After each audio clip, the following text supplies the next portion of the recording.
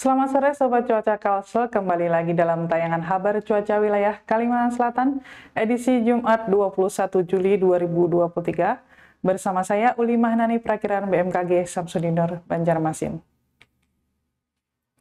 Sobat Cuaca, berdasarkan pantauan dinamika atmosfer terkini, saat ini mulai terbentuk pola konflik atau perlambatan angin di sekitar wilayah Kalimantan Selatan.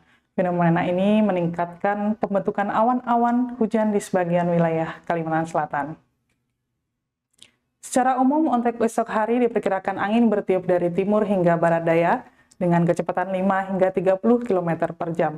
Sementara untuk sudara diperkirakan antara 23 hingga 33 derajat Celcius dengan nilai kelembapan udara berkisar antara 55 hingga 98 persen pada pagi hari untuk wilayah Kalimantan Selatan, terutama di Banjarmasin, Banjarbaru, dan kabupaten wilayah lainnya diperkirakan akan cerah berawan hingga berawan.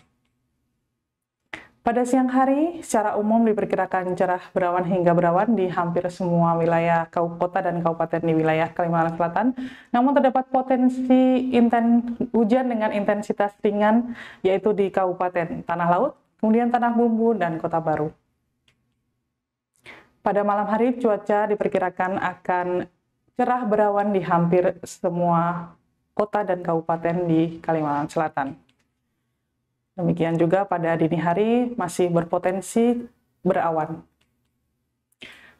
Selanjutnya kita beralih ke Perakiraan gelombang untuk tinggi gelombang esok hari diperkirakan bisa berkisar antara 1,25 hingga 2,5 meter di perairan selatan Kalimantan Selatan dan di perairan Kota Baru. Namun perlu diwaspadai bagi perahu nelayan, kapal tongkang dan kapal feri terhadap gelombang tinggi yang dapat mencapai 3 meter di sekitar wilayah perairan tersebut. Selanjutnya informasi titik panas yaitu hasil pengamatan penginderaan jauh di wilayah Kalimantan Selatan.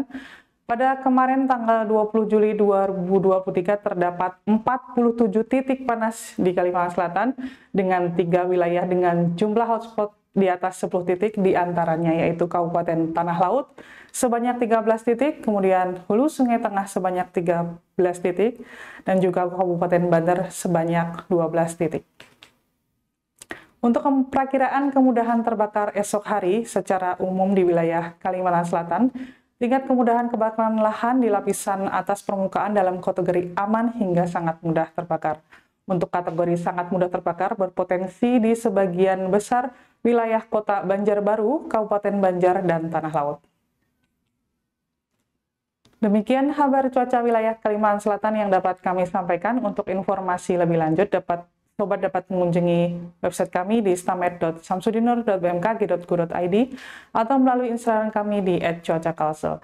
Nantikan terus update cuaca dari kami. Selamat menjalankan aktivitas Anda. Terima kasih dan sampai jumpa.